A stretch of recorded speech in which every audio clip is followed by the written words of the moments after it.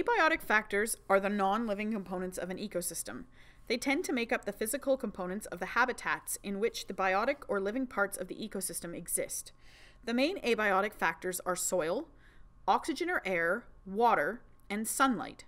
Abiotic factors create the conditions necessary for primary producers or plants to photosynthesize and create the basis on which the rest of the ecosystem thrives. Soil becomes not only the nutrient base for photosynthesis by providing the chemical building blocks for the plants, but also the habitat for many subterranean animals. Biotic factors exist in an ecosystem in a variety of forms. They are grouped together into communities which have populations of organisms or species. These containers fit inside one another like a dartboard and are called an ecological hierarchy. The communities of organisms interact with each other in three main ways. For example, barnacles hitch a ride on whales. The whales don't even notice the barnacles, but the barnacles are transported around the ocean, exposing them to new food sources, which is a major benefit. This kind of relationship, where one organism benefits and the other organism is neither benefited or harmed, is called commensalism.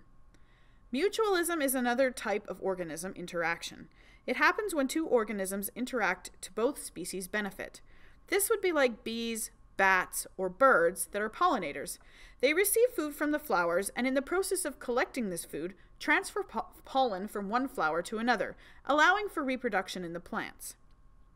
The final interaction is when one organism benefits and the other one is harmed, like hookworms and dogs.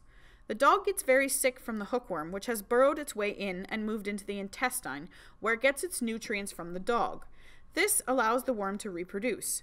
The worm is dependent on the dog's system for nutrients, but in the process of its life cycle is very detrimental for the dog.